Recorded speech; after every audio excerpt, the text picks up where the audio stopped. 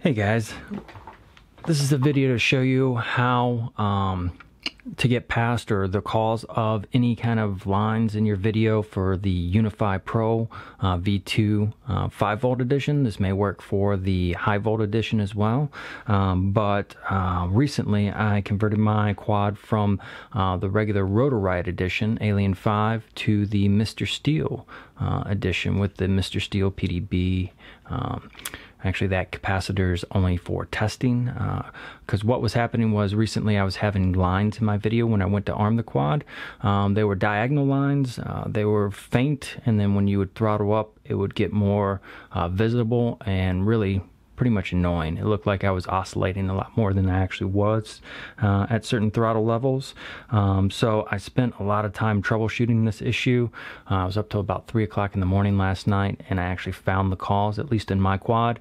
Um, so I'm going to go over uh, what that was and um, I already took the top plate off and um, this is basically the way that I currently have my uh, VTX mounted. Um, so I've got the VTX here, um, basically exactly how the uh, Mr. Steele video shows, um, but his looked like it was up a little bit further. And this is how I originally had the VTX set up and it worked great. Uh, and then I had to do some repairs on the quad and uh, rewatched his video and he looked like he had it more up towards the front. So I changed it, I moved things up, I undid these and I just slid it up a little bit. And that's when I actually noticed uh, that I was having the video issues, but I didn't know that that was the cause. Uh, I did a bunch of upgrades at the same time uh, with the P PDB, a new flight controller. Um, so I didn't know exactly what was causing it. I actually thought it was the PDB that was causing it because that was the newer thing. Uh, this was fairly new, but uh, was giving me great results beforehand. So I was almost 100% certain that it was the PDB, but it ended up being the VTX, and I'm going to go over what causes this. Um, so let's get into it. So I have a brand new VTX that I just purchased um, because I wasn't sure if it was going to uh, be the VTX or not, and I wanted to use this as a reference point. So when I put this new VTX on there, or I didn't even put it on there, I just um, plugged it in and it showed the same lines, the exact same lines when I uh, armed the quad. And um, so that's what led me to believe that it was the PDB, but it was actually the way that I was holding uh, the um, VTX here when I armed it uh, that caused the issue. And what actually causes the issue is, so on this VTX, uh, you actually have um, some solder joints right here. So you've got video, audio, ground, and 5 volt in. And I guess that's just where you can solder the points on here instead of using uh, the wire that comes with it. Um, so that's how I have it set up right now. So again, what causes the issue with the lines is the um, the solder points right here. So if you get any kind of conductor, including your fingers or metal, close to this area and you go to arm the quad, it's actually going to create lines in your video feed. Uh, and I'm going to demonstrate that for you right now. So I'm going to use a little bit of this plastic here as a uh, non-conductor uh, for testing purposes. And I'm just going to throw that in there uh, like this and we are going to plug this bad boy in. Again always make sure that you have the antenna um, plugged in when you power up the VTX otherwise you could ruin it. Um, so we're going to go ahead and plug this in. Great. And I am going to get my goggles um, and we are going to power these on And let's go ahead and power the quad on too. Let's just get this into record mode. All right. I'm gonna put the goggles on, try to do both of these at the same time. All right, so now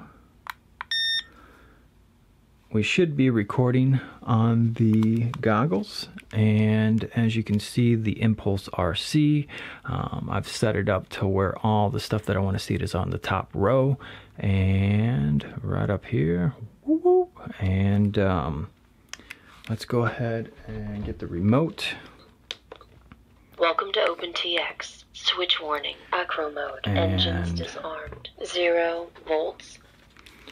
Let's go ahead and arm the quad.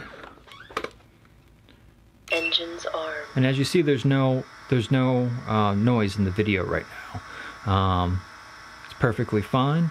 So what actually causes the lines in the video, and I'll show that to you real quick, Engines disarmed. um, is when you. All right, let's see how am I going to do this. So when you hold the side of the VTX, again, it's going to be this side right here. Um, if you put your thumb on there, and again, this could be any metal, so if it's any metal like the top of your frame that's touching this side of the VTX, it's going to cause lines in your video. So I'll go ahead and demonstrate that right now. So I'm just holding the side. Again, I've got my finger on those solder points. I'm going to go ahead and arm the quad, and bam, look at those lines. And then when you go ahead and throttle up, it gets even worse. If I push a little bit harder, it gets even worse. If I get a little bit light, and then when you disarm it just goes away so it was just driving me nuts and i didn't know what it was and it ended up being the vtx but not necessarily the vtx it was how close the vtx was to the metal frame uh, the top plate of my um, my frame um, so again i'm just using my finger as a conductor uh, i guess close to that those solder points and when i go to arm the quad there you go. When I take my finger away, it goes away.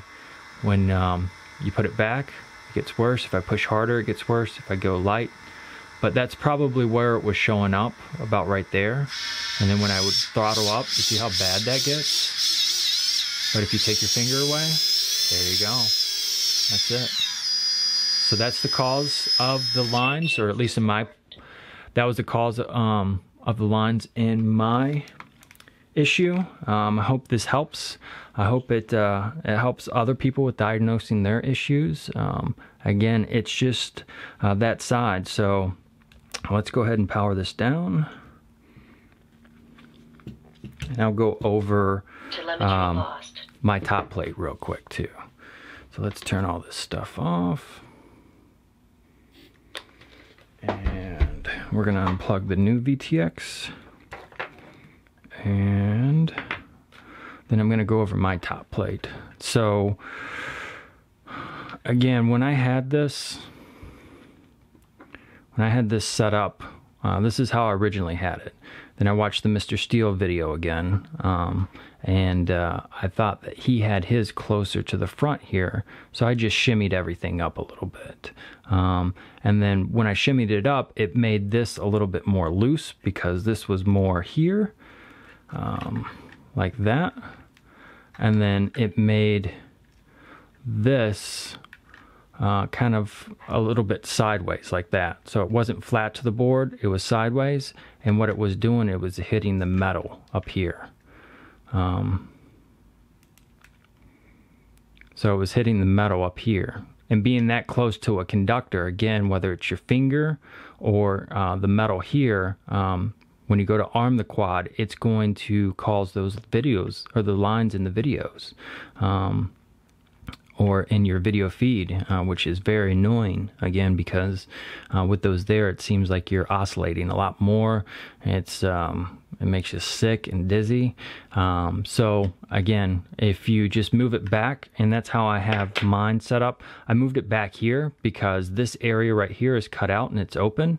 And again, that's where uh, the solder points are. So you want it in an open area, and it works out perfect uh, the way that I have it set up.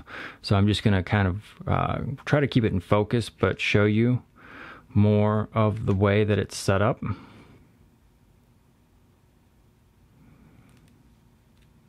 And then I basically just have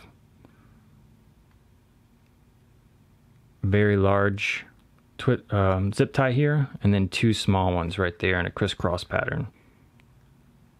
Can't remember where I saw the crisscross pattern like that, um, but that's basically how I have it lined up here. Um, I didn't go with that stretchy zip tie like they showed in the video because that never worked out for me. It always just broke or it didn't even work. Um, so I've used two zip ties uh, here at the tail end and then a zip tie right here with a little bit of foam right there to cushion it uh, like they did in the video. And as long as you have the VTX in this open area, which doesn't have any metal right there, uh, and those are where the solder points are. Again, um, I wrapped it in electrical tape, and that did not help at all. Uh, no matter how much electrical tape here, as long as it's close to a conductor, it's still going to get those lines in the video. Um, so it, while they're here in this open area like that, uh, you're not going to get the lines when you arm the quad. I'm hoping that this video helped. Uh, like and subscribe. Uh, share it with your friends. I'm going to be posting more videos like this troubleshooting videos, tutorial videos, flight videos, the whole nine yards. Uh, not just in FPV, but just really in anything that I'm interested in. Um, thanks for watching and come back soon. Thanks for watching and da, da, da, yeah. Um.